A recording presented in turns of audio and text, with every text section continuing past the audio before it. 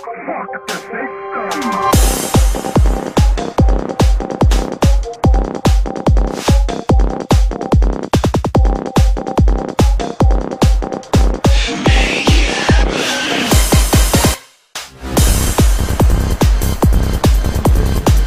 otrora fuera grande con la planadora Opita nos hace soñar, nos brinda las alegrías de la gran fiesta que disponemos a celebrar en la cual todo el Huila, toda Colombia y toda Sudamérica están invitadas de manera especial.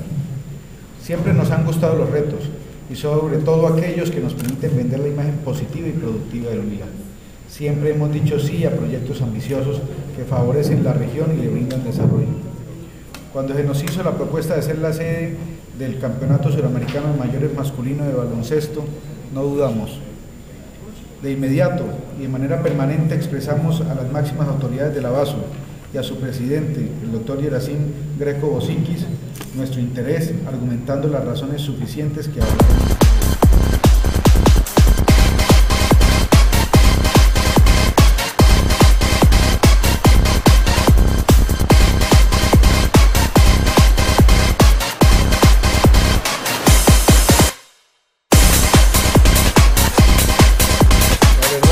Estamos muy contentos y orgullosos por todo lo que está aconteciendo acá en Neiva.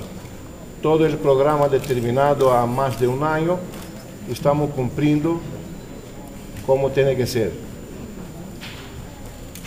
Quiero decir para el gobernador, con mucha alegría, que su papá va a nos acompañar orgulloso de la modernización de su gimnasio, de su, de su arena. Vamos a tener los próximos meses la arena más moderna que hay, con los pisos, los tableros, las canastas, el sonido, la iluminación, todo lo que hay de más moderno el mundo, el básquetbol de FIBA, el básquetbol de, de las Américas. Es verdad que esas son cosas que tenemos que tener para tener un torneo de tanta tamaña envergadura y tan alto valor deportivo.